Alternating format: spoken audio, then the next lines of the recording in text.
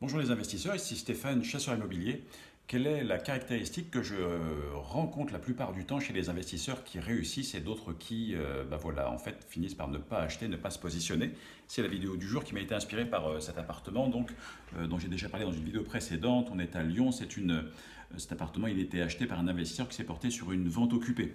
Alors qu'est-ce que c'est? Vous pouvez regarder partout où vous êtes en France, ça existe. Ce sont des biens qui sont vendus avec un locataire dedans. Et alors ça, ça freine énormément de personnes. On pense à des impayés, on n'a pas mis en place soi-même les locataires, donc on ne les connaît pas. On se demande s'il va y avoir des dégradations, on se demande sous quelle échéance euh, la chose va être libérée, et ça on ne le maîtrise euh, jamais, même si on peut avoir des indicateurs oraux. Euh, comment je fais pour optimiser? Quel est le loyer après travaux, rénovation, puisque c'était le cas ici? Énormément de questions, de doutes, de freins. Et euh, bah ça, c'est le premier cas de figure. Deuxième cas de figure, qu'est-ce que vous faites? Eh bien, vous, vous sautez dessus, euh, très clairement, puisque vous avez tout simplement les chiffres qui parlent. Vous avez un loyer qui rentre. Et oui, le cash flow euh, n'est pas au rendez-vous, surtout si vous êtes dans une grande ville. Sauf que c'est tellement compliqué d'obtenir un bien dans une grande ville que vous, n'avez pas d'autre choix que de sauter dessus. Si vous ne le faites pas, quelqu'un d'autre va le faire à votre place. Et c'est la personne qui va faire la bascule et ensuite, justement, pouvoir améliorer l'existant, comme ça a été le cas ici, faire des travaux, euh, rénover, euh, meubler, voilà, avec goût en plus, une verrière, etc. Vous ne pourrez n'obtenir que ce genre de réalisation et de résultats que si vous faites preuve d'audace à un moment, que ce soit les biens, des, ventes occupées dont je parle, que ce soit sur des biens qui sont un peu éloignés de là où vous recherchez, je pense aux villes petites et moyennes qui, euh, voilà, qui, propose, qui, provoque aussi beaucoup de fausses croyances, de peur de, sur le potentiel locatif.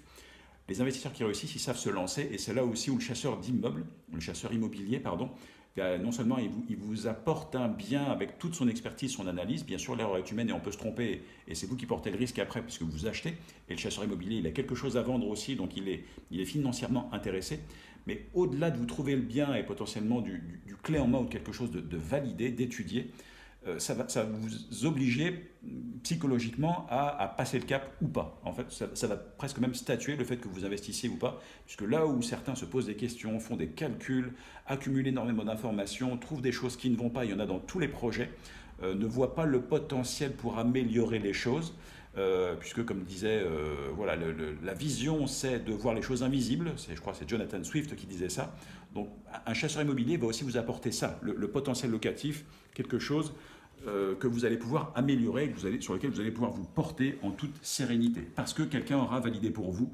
Mais si vous faites une étude poussée sur tout ce qu'un chasseur peut vous aider, peut vous apporter, eh bien là, ça ne va pas fonctionner. En fait, on relève plus du statut psychologique.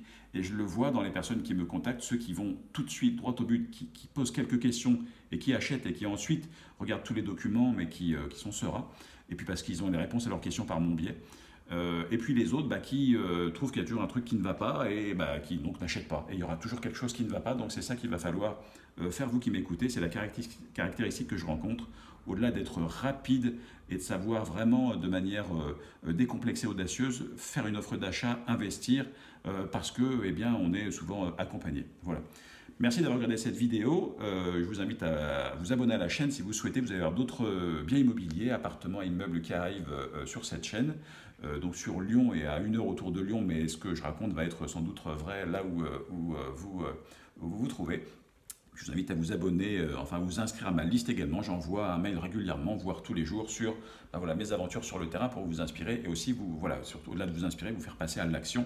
Et je vous propose également mes services de chasseur immobilier avec du clé en main si vous le souhaitez, si vous avez du mal à vous lancer, si vous trouvez que toutes les bonnes affaires se font chez les autres mais que vous, vous n'y arrivez pas, et si vous êtes prêt surtout dans une démarche audacieuse euh, voilà, d'intention d'achat. C'est vraiment euh, ça qui va faire que vous, euh, que vous puissiez y arriver, voilà, de manière seule, avec tout ce qui existe sur YouTube ou, ou de manière accompagnée. Merci d'avoir regardé cette vidéo, à très bientôt pour les prochaines. Au revoir.